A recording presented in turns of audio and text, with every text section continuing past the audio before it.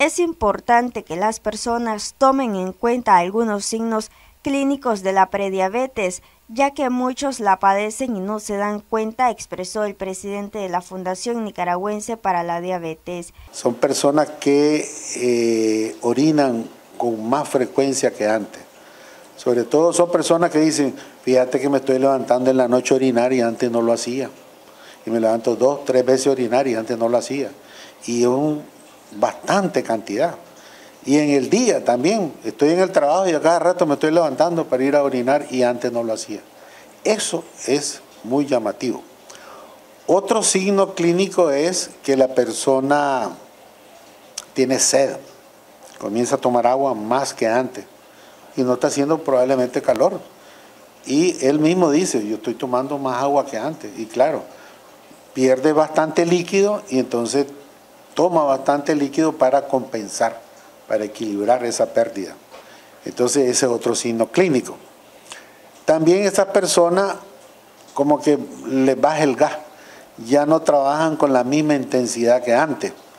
Son personas que a media tarde ya están con sueño, ya se quieren ir a la casa, ya no quieren estudiar, ya no quieren trabajar o eh, llegaron con las completas.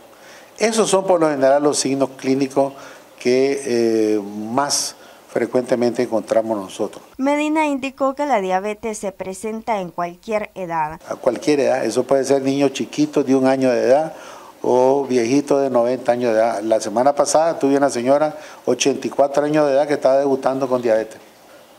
Entonces, y la señora nítida, entera, pero con un azúcar en ayuna de casi 180, eh, diabetes. Pero ¿qué significa eso? Una diabetes diagnosticada a una edad tardía no debería de ser mayor problema para esa persona.